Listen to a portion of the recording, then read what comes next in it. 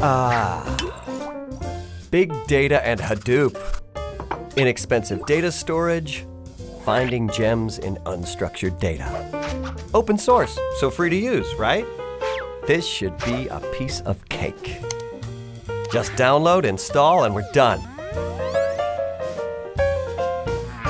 Oh, wait.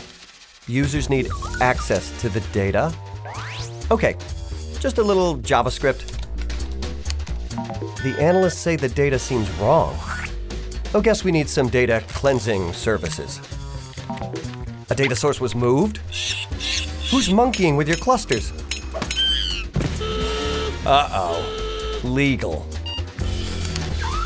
The wrong people accidentally got ungated access to sensitive data? But there goes the security budget. Chief Data Officer says Java access is too slow and still pulling the wrong data?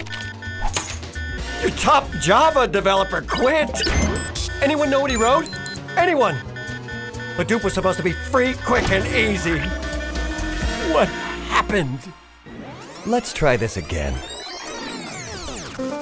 With IBM Big Insights. Big Insights surrounds Hadoop with a complete set of tools designed for businesses serious about big data. So, sit back and find out what Hadoop and big data success tastes like. Ah. To get more details about how IBM Big Insights helps accelerate data science and speed up advanced analytics, visit the Big Insights website.